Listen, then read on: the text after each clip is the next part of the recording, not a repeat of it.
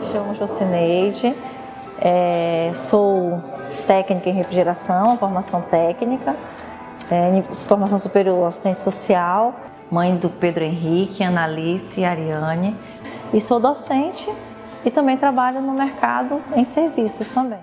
No primeiro momento, não foi uma coisa que eu busquei a refrigeração, era a opção que, tinha, que eu tinha e eu descobri um mundo.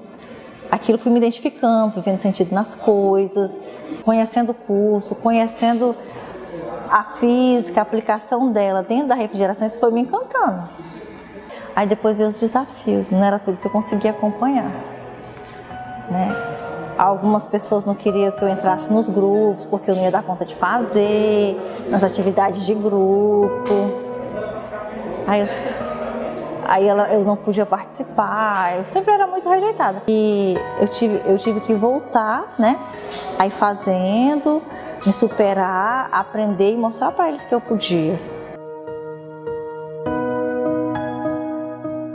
É, sempre existia aquela, né, aquele, não sei se eu posso dizer preconceito, de uma mulher lidando com uma profissão que tem e que envolve área de solda, processo mecânico, elétrica e outras áreas que, querendo ou não, exigem um esforço.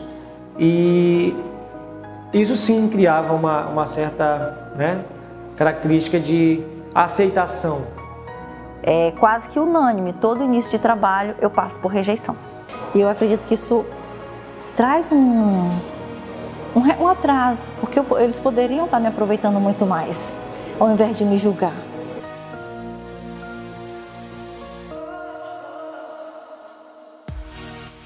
Então, assim, isso para mim nunca foi peso. Dizer assim, ah, eu preciso ter força para fazer refrigeração. Todos me julgavam assim.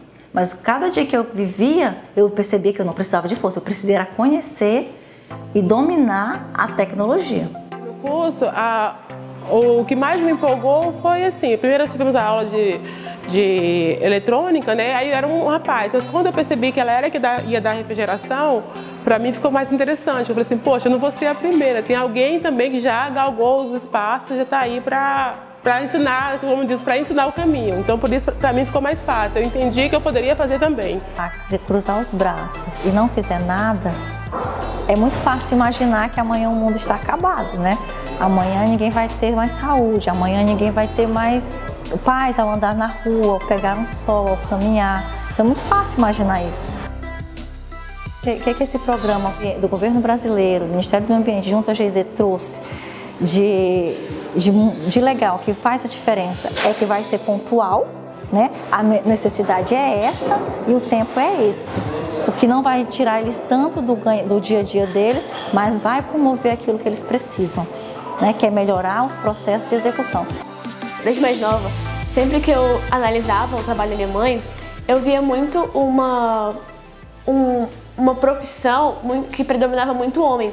E ver a minha mãe nessa área sempre me deixou muito, é, como posso dizer, chocada e mais principalmente inspirada nisso. Não importa se a maioria das pessoas que trabalham com ela são homens, porque se ela faz, se ela comanda ali, então ela que tem a voz para comandar. Então não faz diferença.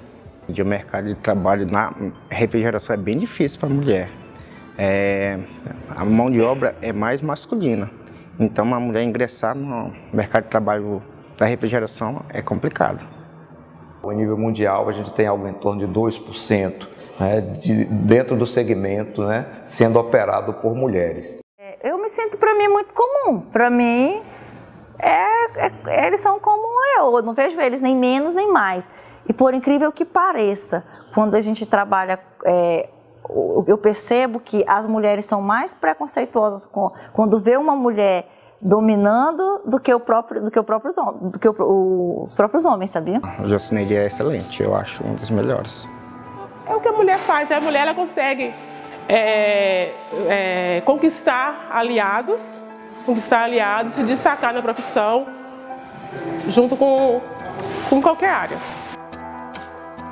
Inspiração para outras mulheres, porque normalmente pelo, pelo, pelo estigma que, que é uma profissão predominantemente, que predomina os homens, ela ela pelo fato dela ser tecnicamente tão boa e ser comparada de igual para igual com qualquer outro técnico, isso faz com que as pessoas percebam que não é só homem que aprende a mexer em ar condicionado, a fazer projetos, que as mulheres também são capazes disso.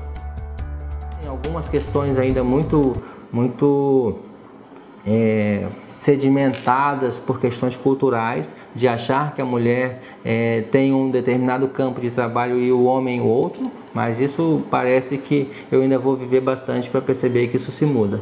A minha família sempre me apoiou e eu fico sempre muito feliz que quando eu chego tá todo mundo muito, todo mundo me esperando. Isso me alegra muito. Sempre com um sorriso, sempre com uma, com uma expressão de gratidão. Isso me fortalece muito. Ela passa o dia todo até umas 10 horas da noite fora de casa, mas mesmo assim, ela é muito presente. Parece que a gente tá com ela tipo, há muito tempo. Então, tipo, parece que ela tá com a gente há muito tempo. E alguns minutos parecem horas pra gente. Isso que eu consegui porque eu nunca estive sozinha, de fato. Sempre teve Deus e meu esposo para me ajudar nessa, nessa luta. Eu tenho muita coisa ainda para conquistar, isso eu tenho consciência. Tenho lá meu planejamento. Mas hoje, quando eu olho para trás, eu acredito, valeu a pena, é tudo muito bom. É, e eu me sinto realizada, como eu, como eu falo, tenho mais coisas para comemorar do que para chorar. Acredito que eu só consigo fazer isso porque eu sou mulher. Se eu fosse homem, eu não conseguia.